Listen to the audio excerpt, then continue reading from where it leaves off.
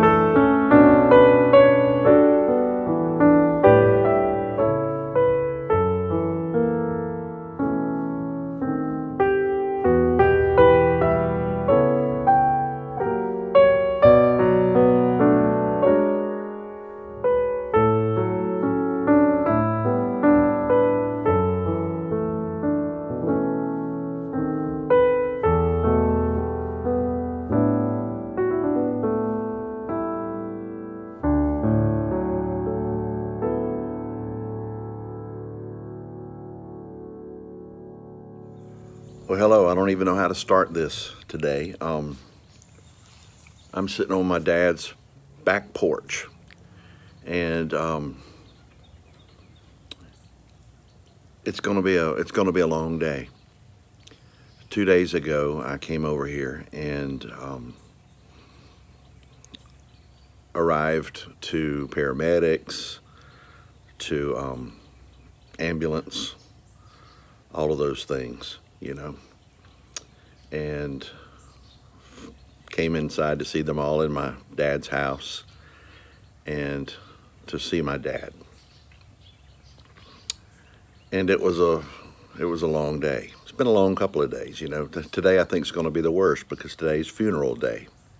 I, I tell you, you you switch you switch into I guess the easiest way to describe it would be survival mode, you know and you just do what you have to do to get through right now. Someone even said yesterday, said, Lord, just get us through tomorrow. And I'm thinking, I'm still trying to get through today, you know, um, to get us through right now.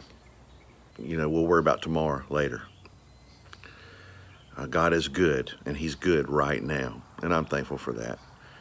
You know, I think after everything's said and done, and I'm home, and it's quiet, and it's just me then I'll then I'll have my time, you know, to grieve and to fall apart. But right now I'm standing uh, with my mom. You know, I'm being strong for my mom, for my family, and uh, I'll have my time whenever the time is right for that.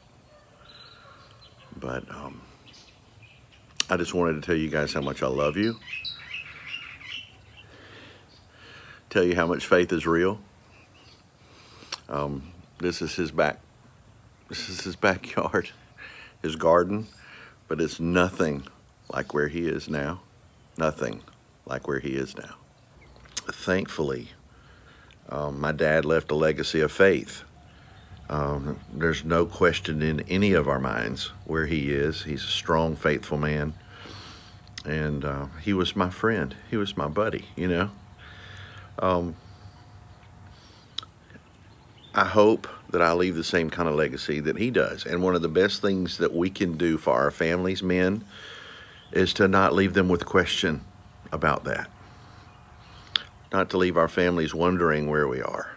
What makes it survivable is the fact that we know that this is not all there is. We know Jesus. We know his peace. We know what he has done for us here. And when we pray, y'all, this is the key. When we pray, we pray to a God that has been there. He knows what death is. He knows what it is to lose his son. He knows what it is to be separated from the Father, you know. And so now I'm going in to take a shower, wash this nappy head, get cleaned up, and go say see you later.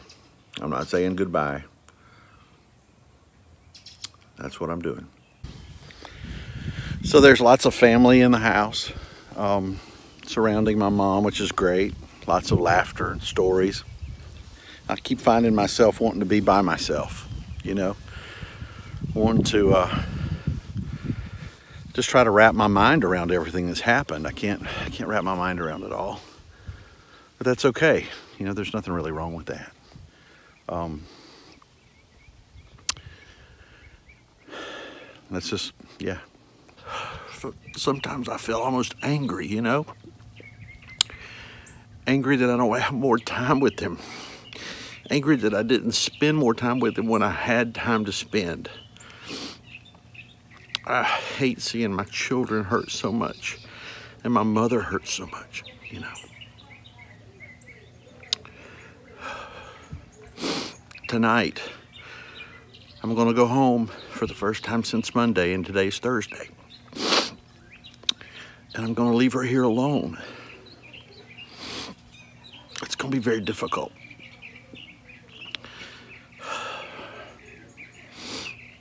just praying for that peace that passes understanding. The outpouring of friendship and comments on Facebook from folks that I've not even ever met before. You guys, Sanctuary, you know, Un unbelievable. Well, I can't even read it all. You know, there's so much that at nighttime I'm just taking a few at a time and just reminded so much about how how many people are are there. And I'm so thankful for what the real church is, right? The body of Christ that comes together from all over the world, literally. I've been encouraged from all over the world. It's amazing. Amazing. You know, I'm going to miss my friend.